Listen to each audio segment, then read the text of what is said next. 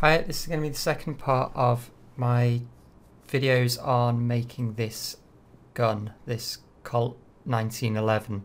So I finished off the high poly from the last video and I'm just going to be working on this top bit here. I've sped this up because it's quite a uh, torturous and repetitive process.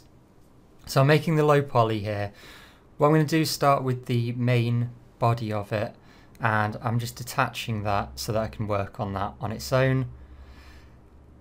And when you're doing converting things to a low poly, sometimes you'll find that there are bits where it's just faster to to remake it completely from scratch. So the front and the back of this, I think there's so much going on in terms of the topology that I'm better off just cutting off the front and the back and then I can add those in, add those back in later. I can remodel them. So I've just cut the front and the back off and now I'm just cutting the, the, the piece in half so I can just work on half of it and use symmetry modifier after. So the first thing that I'm doing is I'm getting rid of the, the easy loops, the loops that aren't going anywhere, that aren't doing anything to hold the silhouette. So these are just the things that I added in so that I could turbo smooth my model. So anything that you think is going to cause you a bit of an issue to, to delete, just leave it in for the moment. Get rid of the get rid of the easy, really easy stuff first. That's definitely going to cause no issues at all.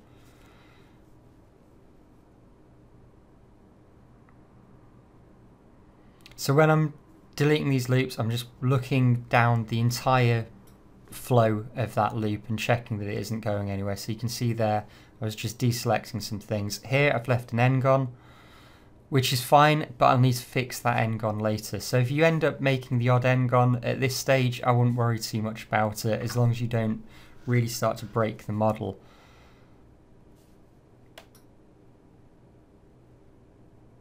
Okay, I think those are most of the easy loops done. So the next thing I'm going to do is delete every other loop through this cylinder. And again, I'm just checking where the those loops go. So I've left some n-gons there as well that I'll need to fix up later.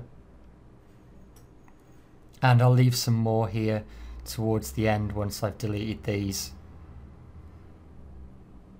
So you can see that one, that poly I just selected there is an n-gon. So I'm just using a dot ring to select those ones at the bottom. And I'm just checking I've got enough edges in there so that when I'm looking down the barrel of the gun, because that's what most people are going to look at most of the time if this is a first person game, I'm just checking that I've got plenty of polys in there.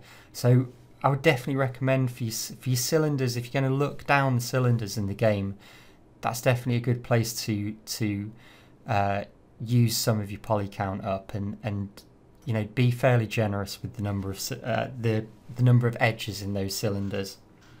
There's nothing worse in a game than looking down a gun and it's an eight-sided cylinder and it just it just looks so low poly. Okay, so here I'm fixing up some of these n-gons and I'm starting to cut things into triangles. So any any edges that I don't need, anything that is not holding the silhouette, so any vertex that isn't holding the silhouette, I'm getting rid of. Here I'm just fixing up these n-gons I had, so I'm just working out how I'm going to sort out the geometry for them and then just target welding everything together to get rid of any any loops that I don't absolutely need.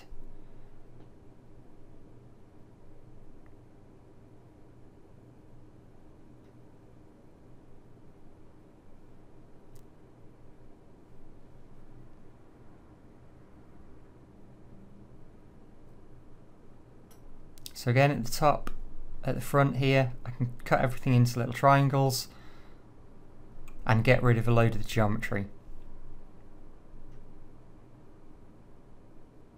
I'm just sorting out the best way of putting that bit together.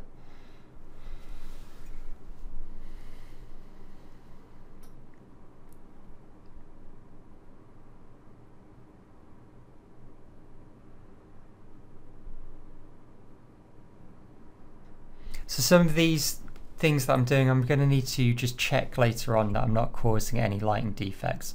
Now, this area at the front here, I don't think I've got enough geometry in there to follow the high poly.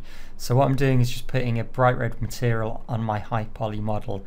And now I'm going to add some more verts into this area and use those extra verts to really try and follow the topology of the high poly as well as I can.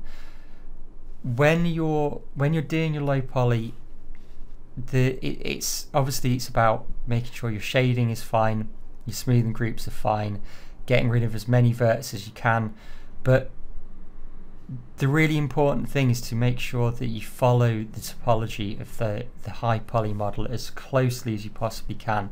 You want to get the two things exactly matched up onto the surface. The, the closer you get those two things, the easier your bake is. Almost all problems that you'll have with your baking process are just because the high poly and the low poly aren't exactly on top of each other. So here I'm just going through and I want I want the high poly to kind of be clipping through the surface so that it's it's exactly on top. And if I do this, my bake is just going to be really easy because all I'll have to do is push the cage a tiny little bit and that'll be it. I won't have to do any messing around with the cage or anything like that.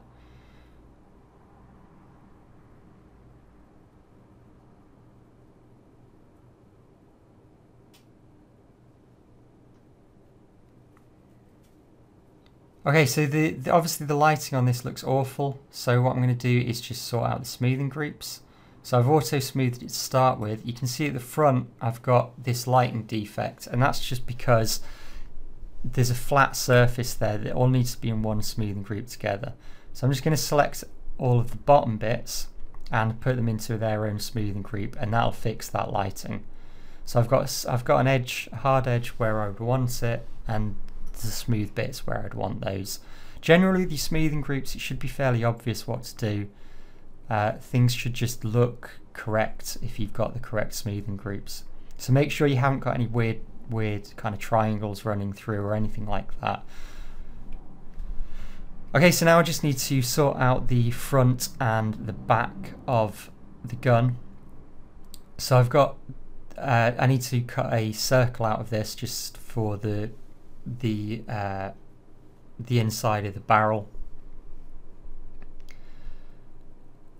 And I'm just going to collapse some of these down. I don't need so many verts in here. So this is a bit time consuming, but just going around and sort of target welding things up and welding, connecting, uh, collapsing, just generally reducing the vert count at the front all of this is going to be hidden, so I just need to make sure I've got enough uh, enough edges in that circle that it kind of stays in place. So sorting out the back, this is just a case of modelling it in really. Um, I'm constantly looking at the high poly model so that I can follow the topology of that. First thing I'm doing with this I'm just going to sort of randomly cut stuff in and not worry too much about things like uh, edge flow. I'll just I'll just cut things where I want them and then I'll sort that sort out the edges in a bit. So I'm just making sure everything is where it needs to be in terms of that high poly model. I'm using uh, I'm using constrain to edges quite a bit here just to make sure that I don't pull things backwards and forwards off the flat surface. And now it's just a case of, of figuring out how I'm going to how I'm going to put this geometry together. So just cutting everything into quads and tris.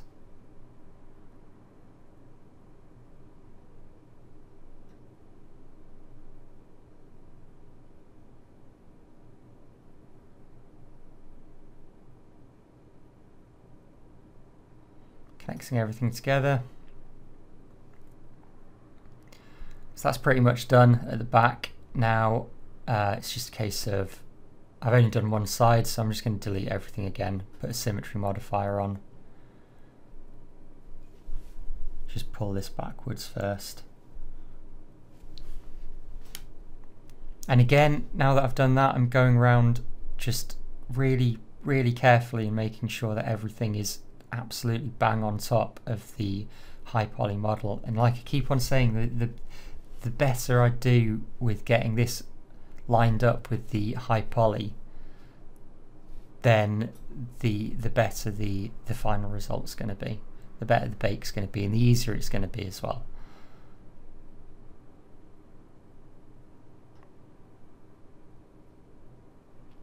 Okay, so I've left some n-gons at the front, but they should be alright because they're all on a nice flat surface.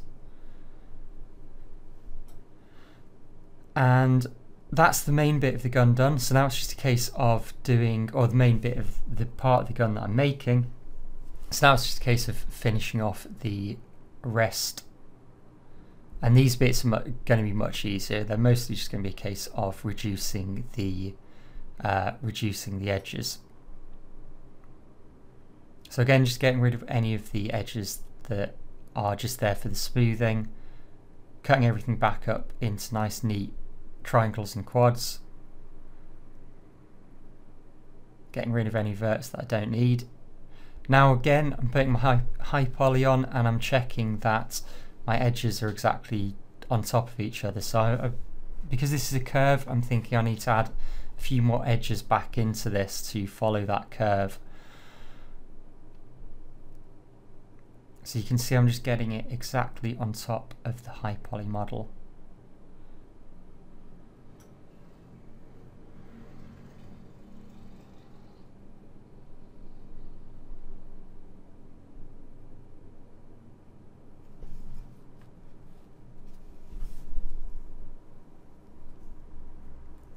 So I'm getting rid of any geometry that I'm not going to see because I don't want to have to unwrap any bits that I don't see. I've put an edge loop in there that will uh, in the inside just so that I can scale down the UVs for some of the inside of the barrel that you're not going to see.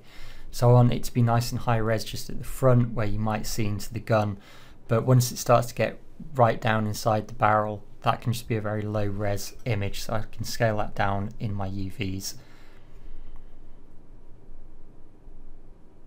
So again, getting rid of any bits that I don't need, then just reducing the edges. Just need to be a bit careful on this piece that I'm not reduce, uh, removing edges that that are holding the, the silhouette in place.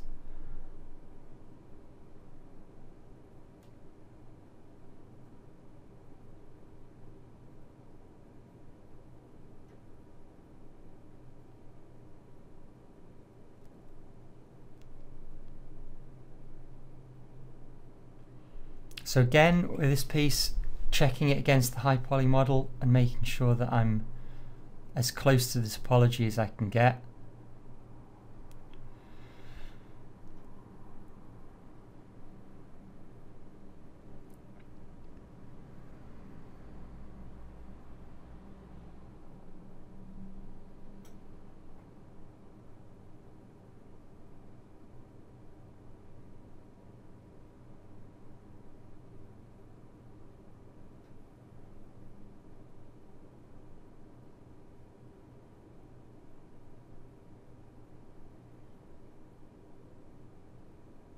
And now just sorting out the smoothing groups on everything. So this one didn't quite auto smooth the way I wanted it to.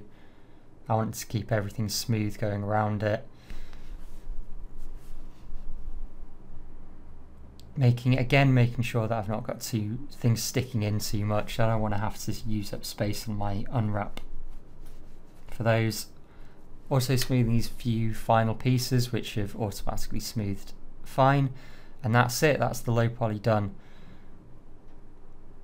So I'm just having a look how many verts I've got in there. So it's 886 verts for that top bit, which I'd suggest is pretty good for a next gen gun. That's it.